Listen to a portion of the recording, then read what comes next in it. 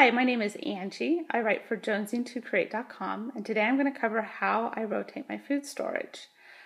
I cover a lot more of this on my blog, but sometimes it helps to see things visually. So if you're looking for details, go to um, go to jonesing2create.com, but this will kind of let you see the gist of it. Um, instead of rotating cans, I rotate bins. So in each bin, there's a month worth of food. And so, say, like with my peaches, instead of having to rotate 60 cans of peaches on a shelf, I just have to rotate three bins. It makes it super, super easy. Uh, right now, we're in my pantry, and so I keep the items that are going to expire first in my pantry. So that way, those are the ones that I'm using. Um, so when I'm cooking and stuff like that, these are the bins that I pull out of. Um, and then once I finish off a bin, I just have to take it out and I replace it with a full bin. And then I leave that empty bin out so that I can remember to refill it. So like say with my soup, so I go and I get my last can out of soup so that I can use that. And so then I take my bin and I can just stick it right out here where I can remember. And so next time I'm out grocery shopping, I can know that, oh, I need to pick up eight cans of soup it makes it super easy because I don't ever have to check a list or anything. It's all very visual. I can just look at the can and say, I need eight cans of soup. If you notice, I also write the expiration date on there. And that's really helpful because then I can, without having to pull cans out, I can just see when those cans will expire because I buy all the cans in a bin at the same time. And so they all have pretty much the same expiration date. And so now I'm going to go over and I'll walk over to my food storage closet and I will find, see here we go, I've got all my different bins and I'll find my soup bin. So I'll grab my soup bin like this and then I'll carry it over to my pantry and then I will replace it. Okay, I'll stick it right in there and then I'll just replace it right there. Now let's say that I've already gone shopping, I've filled this bin up. So I take it back over here and then what I'll want to do is I will pull that one from the back and put this new one back there. So then that way um, I have the newest one out forward and then I can also replace the expiration date. So that way I can see it super easy. Um, and so if you notice, it's just a really easy way to keep on top of things.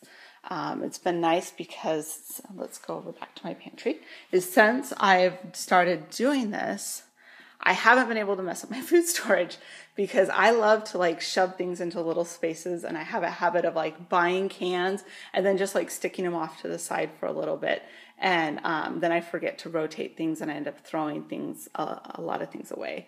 And so I totally love the system. I've been doing it for a couple years and it's kind of cool because like this is what my pantry looks like. I, it always looks organized. I really can't mess it up. Um, some of the things that I found that are really helpful is finding the right bins. A lot of bins have a really fat lip around the edge and then they taper down to the bottom. It's nice because it makes them really strong, but they also take up a lot of space. So I was excited when I found these bins because if you notice, they don't have as much of a lip and they don't taper as much. And so that way I can fit more in them. Um, also, like the cans, they're easy, they fit in more easily um, and I can stack them better. I also love these. I found these at Walmart, and so each of these fit about 12 regular size cans. And um, it's really, if you notice, they just stack right inside, and it doesn't waste a lot of space at all. Um, and so I've loved those for more items like my vegetables. I buy a bigger bin. I had to go back and forth a little bit to find out the things that would fit in my pantry and in my food storage closet, but it was totally worth it. Um, some of my cans I don't have a ton of, and so it didn't make sense to buy a whole bin um, because like I maybe just store for a month. And so what I did is I bought these also at Walmart. Um, they're made for your refrigerator to um, rotate soda cans, but they work really, really well with food storage cans because if you notice, I can just pull this one out and they all rotate through.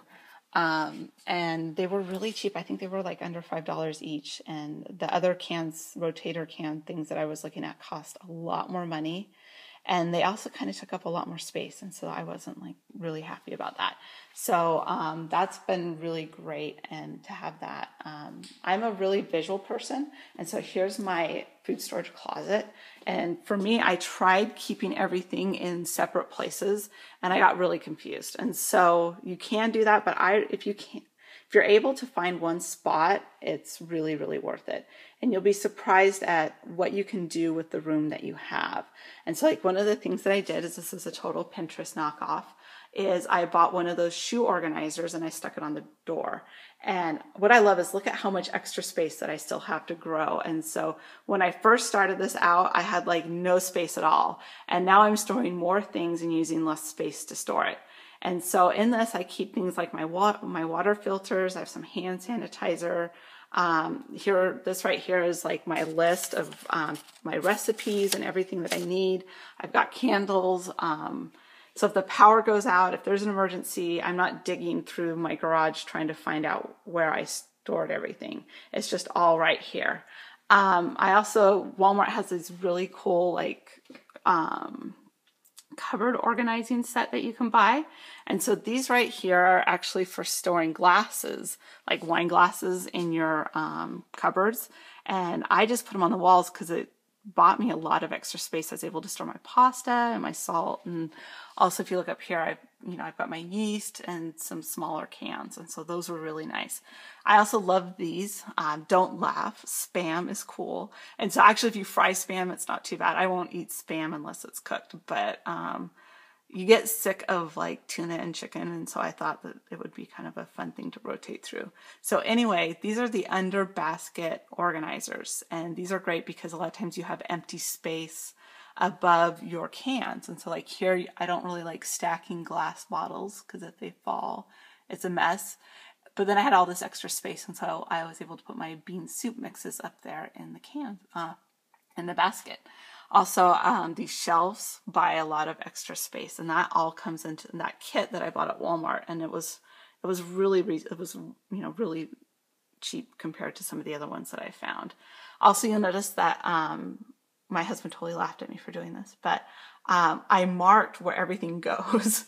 like I said, I'm super visual, and so I love that I can look in my closet and say, okay, I need, um, see if you look, this is one month of macaroni and cheese, and this is another month of macaroni and cheese. And so usually I keep two months of food in this closet and one month of food in my pantry. So I'm able to look at that and say, oh, I need to buy eight boxes of mac and cheese. And the same with everything, it's all marked. And so if you look I've got, you know, it just makes it really easy. So all I have to do is look in my pantry and I can just see immediately what I need.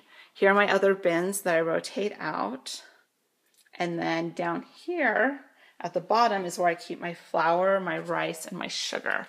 Um, these are food safe bins, and then I bought the gamma lids because they just unscrew. And so instead of having to pry off the lid every time I use it, let's see, I'm trying to do this one handed. Let's see if I can do it. Do you think I can do it? Aha, I can't even do it one handed while holding a video camera.